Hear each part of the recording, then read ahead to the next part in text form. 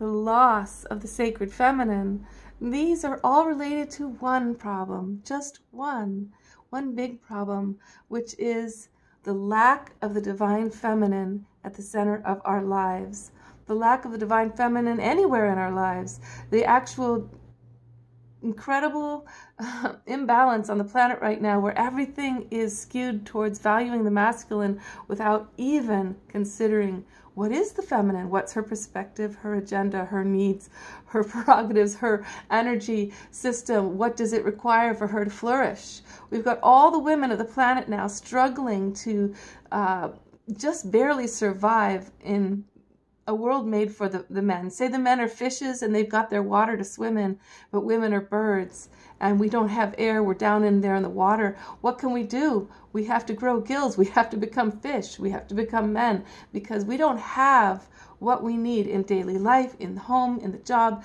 in our. Uh, in thousands of realms, in every chakra of our life, we are not being nourished as divine feminine beings. So this is a, actually a very practical journey. It's a journey I want to take you on the Divine Feminine Passion course to take you back to what life that embraces the Divine Feminine really is about, what it looks like, what it feels like, and what it is practically in each domain, in each chakra. So it's a chakra journey. We're going to go through the seven chakras and we're going to call um, we're going to uh, look at what happens when you really synergize with the masculine feminine balance and, and you bring them together. How this eighth chakra is created of complete synergistic flow. And when you get there now let's talk about we talked about the problem you know and how the planet is going down in a handbasket because of the the masculine agenda to keep building and to keep you know taking without giving back and capitalism and power over. We know all that. Okay. But ooh when you come back what happens? When you come back to balance oh it's so exciting you got this this reality where the the polarities are giving each other energy they are rocking it. They are um, feeding each other by being different, not the same. Not making men be women, not making women be men.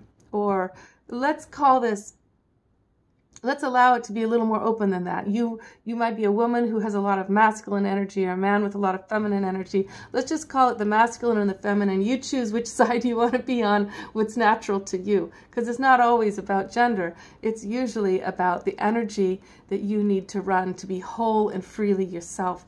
And the polarity that you personally need to be involved with to feel your um, your your energy ignited, your energy fed. Now some people are right in the middle. They're really feminine, masculine, balanced, and they usually need to be with energies around them that are also balanced. Uh, but no matter what, everybody needs the feminine to come back. Everybody needs it. Without her, none of us are going to survive as a species. So join me um, for an outcome that is going to bring balance to the planet harmony in all domains of life. Uh, it's going to bring your passion back. This course is going to bring your sexuality to an all new level of in cosmic lovemaking. Uh, you're going to learn how to pleasure the feminine, heart, body, and soul. you're going to. Um, you're going to get out of the whole power struggle because that's no longer going to be what you're doing. You're going to actually acknowledge the feminine so she doesn't have to be fighting for her life all the time. And and you're going to once you honor her, she's going to honor the masculine. You're not going to have to feel bad about the, yang energy that you run. Woohoo! Oh, is going to be so great. so take the course with me. Sign up. Um, I'm, I'm in the process of creating. I've been